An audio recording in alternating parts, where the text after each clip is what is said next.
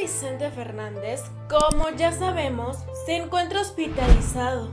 Pero lo más increíble es que día a día las cuentas que deben pagar debido a su hospitalización suben y suben. Estos detalles te los estaré platicando a continuación. Bienvenidos a Famous Close Up. De acuerdo con lo que se dice, la página oficial del hospital, la terapia intensiva para adultos mayores tiene un costo de 6.830 pesos por día. Igualmente, la estadía en el quirófano por una cirugía mayor de máximo dos horas tiene un costo de 6.534 pesos. Después de estar muchos días en el hospital y de acuerdo con información de parte de los médicos, donde el doctor Luis Alberto Gómez comunicó que su recuperación se presentará de manera sutil y que Vicente debe permanecer allí, pero su cuenta en el hospital sigue y no va a parar. Probablemente seguirá aumentando en los próximos días. Según las declaraciones del doctor Gómez, don Vicente sigue con un ventilador para que pueda respirar de la mejor manera.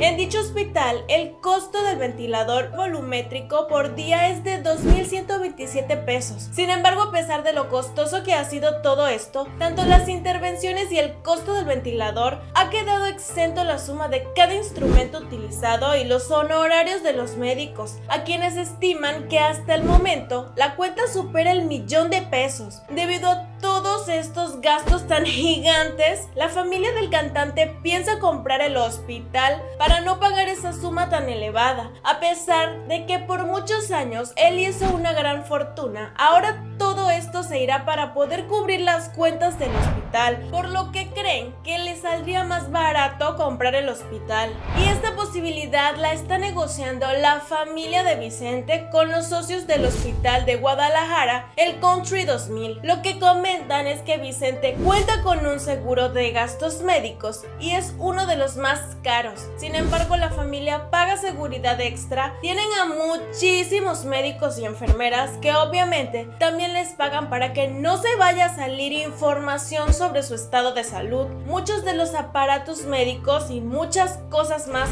no son cubiertos por la póliza de seguro, por lo que sus gastos se siguen amontonando de manera sobrepasada, pues su seguro se niega a cubrir los egresos que surgen al margen de lo pactado originalmente. Los familiares desde un principio quisieron llevarse a Vicente a Estados Unidos, pero como todo se puso más complejo, decidieron dejarlo en México. Sin embargo, han traído médicos de Houston para tener varios diagnósticos. Si te gustó el video, dale like, suscríbete a nuestro canal para que no te pierdas nuestro contenido y síguenos en nuestra página de Facebook. Esto fue Famous Close Up, gracias por quedarte hasta el final. Nos vemos en el próximo video.